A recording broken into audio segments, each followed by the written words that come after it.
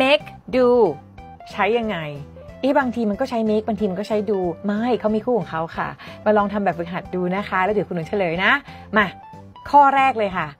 homework ใช้ make หรือ do do homework เก่งมาก ผิดไม่เป็นไรนะ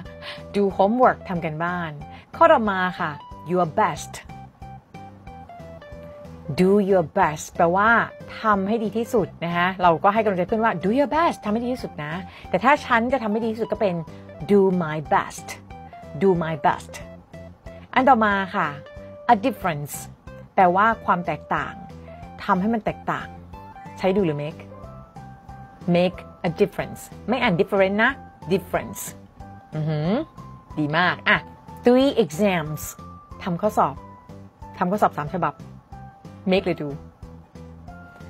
do three exams หรือว่าทำข้อสอบก็ do exams อันต่อมาค่ะ อันนี้ a decision แปลว่าการตัดสินใจนะคะเป็นคำนาม decision ใช่ make หรือ do make a decision make a decision แปลว่าทำการตัดสินใจ อันนี้ business ไม่เอาบูนะ business แปลว่าธุรกิจใช่ไหมคะ ถ้าเราบอกว่าทำธุรกิจใช่ make หรือ do do business แปลว่าทำธุรกิจ เยี่ยมมาก โอเค อันต่อมาค่ะ and excuse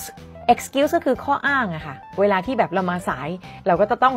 สร้างข้ออ้างขึ้นมาใช่ไหม ใช้อะไร make หรือ do make an excuse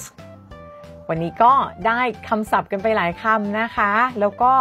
ได้รู้ด้วยว่าอันไหนใช้เมฆอันไหนใช้ดูนะคะ จดลงไปเป็นคู่กันจะได้จำได้ วิธีจำคำศัพท์นะคะ ก็คือการที่เราเนี่ยจดลงไปในสมุดจด แล้วไม่ได้จดเฉยๆ เอามาดูซ้ำอ่านซ้ำใช้ซ้ำแต่งประโยคนะคะ ก็จะทำให้เราเนี่ยมีคลังคำศัพท์เยอะขึ้นค่ะ เลือกคำที่เราอยากจะจำได้